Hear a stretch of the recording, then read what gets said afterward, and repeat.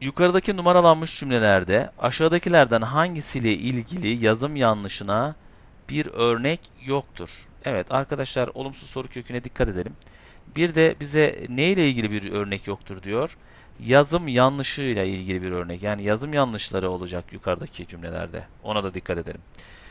Ee, seçeneklerden gidelim isterseniz. Yön ve bölge bildiren sözcüklerin yazımı ile ilgili acaba bir yukarıda yazım yanlışı var mı? Bakalım.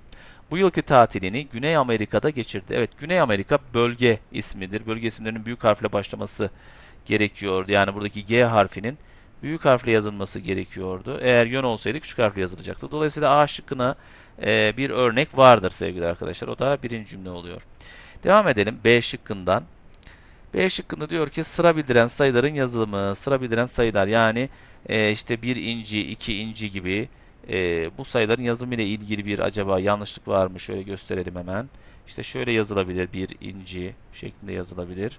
Ya da direkt e, hepsi yazıyla da yazılabilir. Acaba bununla ilgili bir örnek var mı? Bakıyoruz hemen. Seçeneklerimize bakalım. Böyle bir örnek yok. Ama 4 numaralı cümleye dikkatimizi çekiyor. 4 numaralı cümlede ikişer ikişer diyor. İkişer ikişer sevgili arkadaşlar sıra bildirmiyor. Üleştirme sayı sıfatlarıyla ilgili bir yazım yanlış var burada. Onun için B seçeneği şüpheli yani cevabımız B seçeneği aslında burada bir yanlış bulamadık ama diğer şıklara da yine bir bakalım. Evet C seçeneğine geçelim. Gün adlarının yazımı ile ilgili bir yazım yanlışı var mı? Bakıyoruz. 27 Mayıs Salı günü. Evet Salı burada e, S harfini küçük yazılmış. Aslında büyük yazılması gerekiyor. Çünkü özel bir tarih oluyor. 27 Mayıs Salı günü görevinden istifa etti şeklinde bir e, evet yazım yanlışına örnek var. D'ye bakalım. Evet D'ye bakıyoruz. Ki bağlacının yazımı ile ilgili bir yazım yanlışı var mı? Bu yılki tatili diyor zaten.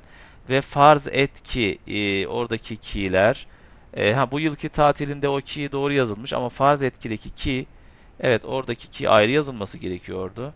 Bununla ilgili de bir örnek var.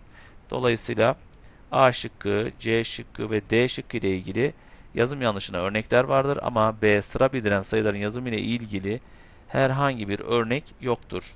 Cevabımız B şıkkıdır.